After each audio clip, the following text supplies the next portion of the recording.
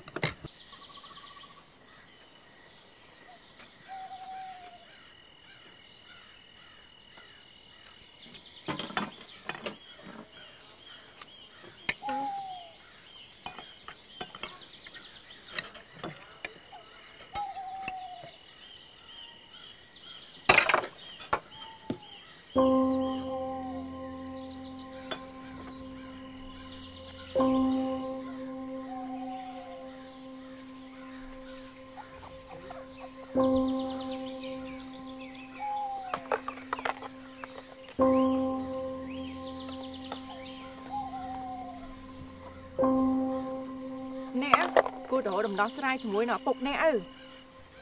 ខ្ញុំមិនអាចទ្រាំរួចនៅរបៀបហ្នឹងបានទេអត់ត្រង់ខ្លះសិនទៅអូនឲ្យទ្រាំរបៀបម៉េចអ្នកត្រូវតែជ្រើសរើស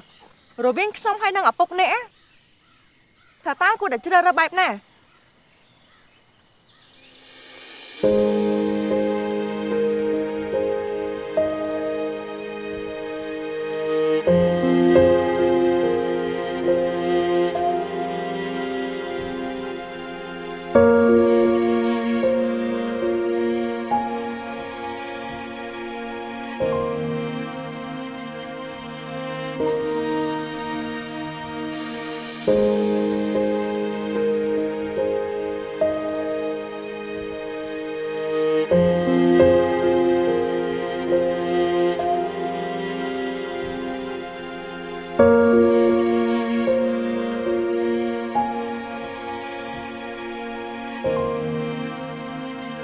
ក